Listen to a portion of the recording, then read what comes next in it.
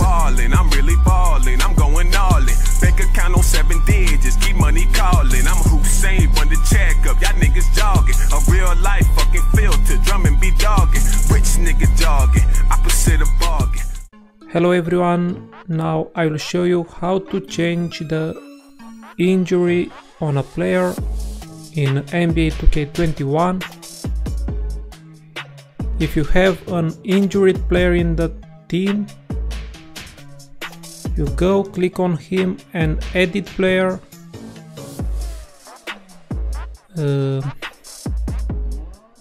now go to now go here and go down on the injury type. You have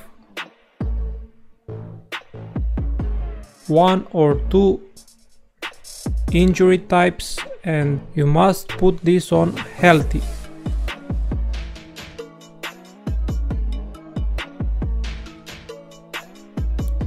Now go back and complete and uh, you'll see Kevin Durant it's healthy. And you can play with him but uh, first you must put him back if he isn't in the starting 5 you must put him back on the team.